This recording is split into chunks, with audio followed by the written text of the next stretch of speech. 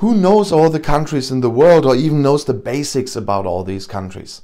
In this small series, I would therefore like to give you an overview of the countries of the world.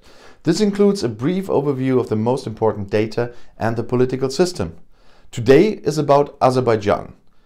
The full name of the country in English is Republic of Azerbaijan. The form of government is a presidential republic. The head of state is Ilham Aliyev, the president of the Republic of Azerbaijan. He took office on October 15th in 2003 and was last elected on April 11, 2018. The head of government is Ali Asadov, the Prime Minister of the Republic of Azerbaijan. He took office on October 8, 2019. The Foreign Minister is Elmar Mammadyarov. He took office on April 2, 2004. On the Human Development Index, Azerbaijan is on 88th place. Azerbaijan is a secular state with a Muslim majority of the population.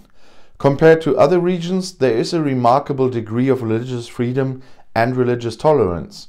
The constitution gives the president far-reaching powers. The president appoints and dismisses the prime minister and the ministers who are solely responsible to him. He is not responsible to parliament, the Milli Mejlis. International election observation missions identified serious irregularities at all stages of the electoral process and criticized the lack of real democratic competition. Azerbaijan is a member of the Council of Europe and a party to the European Convention on Human Rights. However, freedom of the press, freedom of expression and freedom of assembly are subject to considerable restrictions.